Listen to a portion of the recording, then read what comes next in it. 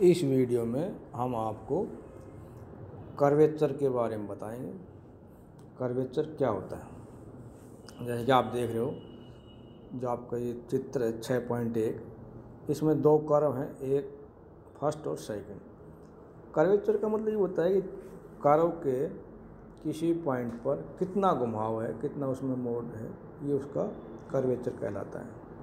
Curve से ही curvature बना है, ठीक है? तो उसमें जो बैंड है, उसकी कितनी तीव्रता है, इसके बारे में हम इसमें स्टडी करेंगे।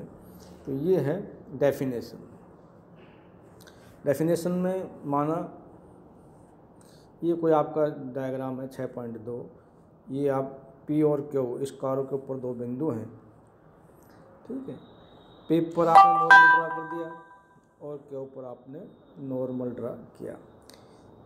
तो ये जो अभिलंब हैं एन बिंदु पर मिलते हैं। ठीक है। जो जो क्यू पी की तरफ़ टेंट्स अप्रोच करेगा, एन जो है सीख की साइड में एन पी जो है सीख की साइड में जाता है। तो ये जो सी पी है, ये तो कहलाता है सेंटर ऑफ़ कर्वेचर। ठीक है। और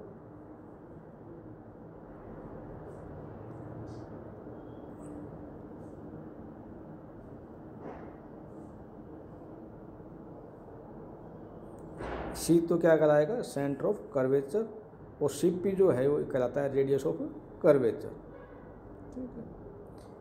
पी के जो, ये जो आपकी चाप है आर्क है, इसको यदि हम यूँ मिला दें, सीधे लाइन से पी के तो ये इसकी कोड कहलाती है, जीविया जो कहते हैं कोड ऑफ़ कर्वेचर ठीक है? फिर देखो, एक बार फिर इसको समझो।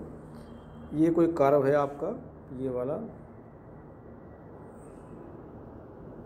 ये कोई कार्व है। इस पर दो बिंदु आपने पी और क्यू ले लिए। एक बिंदु पी है, दूसरा बिंदु क्यू पी पर हमने टेंजेंट ड्रा कर दिया क्यू पर टेंजेंट ड्रा किया। ठीक है।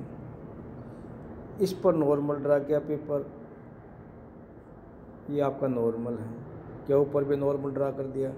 ये नॉर्मल जो है आपके एन पर मिलते हैं। ये इसका सेंटर बिंदु है सी केंद्र है इसका, कारों का तो जो जो क्यू पी की तरफ़ स्टैंड करेगा अप्रोच करेगा एन पी जो है ना, इस, ये सी की साइड में जाता है।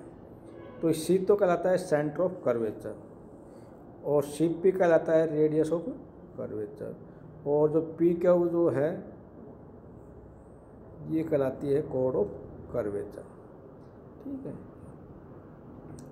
वन अपॉन सी पी, यानी वन अपॉन रो क्या कहलाएगा? कर्वेचर कहलाता है। वन अपॉन रो इसका कर्वेचर कहलाएगा। यानी curvature is reciprocal to radius of curvature. ठीक। अब फार्मूला यदि आपके पास रेडियस ऑफ़ कर्वेचर निकालने के फार्मूले क्या है? अगर आपका संबंध एस और साई में है S is equal to function of psi तो रो जो होगा रो होता है रेडियस ऑफ़ कर्वेचर ये होता है D S upon D psi D S upon D psi ठीक है? यानी जो नेज समीकरण है आपकी इंट्रेंसिक इक्वेशन जो है, उसमें जो रो होता है, उसके लिए जो रो होगा आपका रेड वो होता है D S upon D psi ठीक है? रेडियस ऑफ़ कर्वेचर यदि आपका फार्मूला कार्टिशन फॉर्म में है आपके Y is equal to F X तो उसके लिए रेडियस ऑफ़ कर्वेचर का क्या फार्मूला होगा? Cartesian formula for radius of curvature वक्रता त्रिज्या के लिए कार्तिक के सूत्र। यदि आपके पास कोई इक्वेशन है Y is equal to F X हम जानते हैं कि D Y by D X is equal to tangent psi होता है। दोनों साइड में एक्स के सापेक्ष डिफ्रेंशिएशन करने पर, अवकलन करने पर D two Y by D X के इज़ इक्वल टू सेक्स के psi D psi by D X आ जाएगा। तो is equal to D two psi sec के psi D psi by D S into D S upon D X आपने जो है इसको ये जो है आपका, इसको आप लिख सकते हो D psi by D psi by D X को लिख सकते हो आप D psi by D S into D S by D X ठीक है? ये जो आपका है एस एस कट जाएगा और आपका D D psi by D X आ जाएगा। सेक्स स्क्वेयर क्या लिख सकते हो? वन प्लस टेंजेंट स्क्वेयर और क्योंकि D S upon D psi rho होता है तो D psi by D S क्या जाएगा? One upon rho plus into D S upon D X का माना जाता है। One plus D Y by D X का स्क्वेयर सारे का रूट देखो, यदि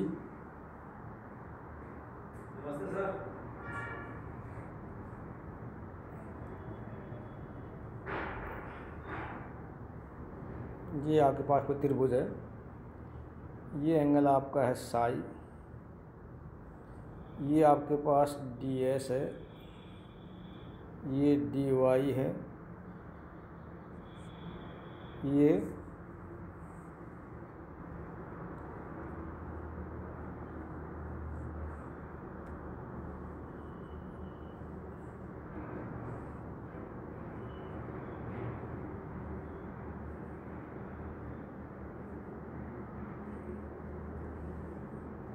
ये डी वाई है,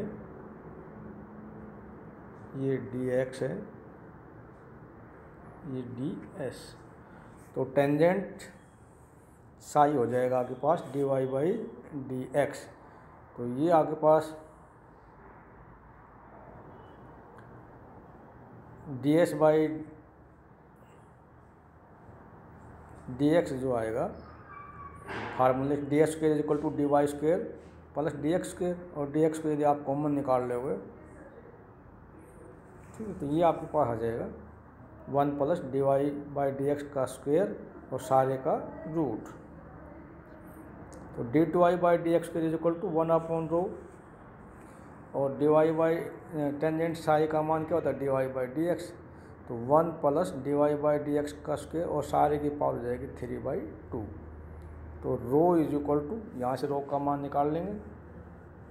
Rho is equal to one plus D Y by D X का स्क्वेयर सारे की power three by two upon D two Y by D X के तो ये रो निकालने का रेडियस ऑफ़ कर्वेचर ज्ञात करने का एक फार्मूला हो गया। यदि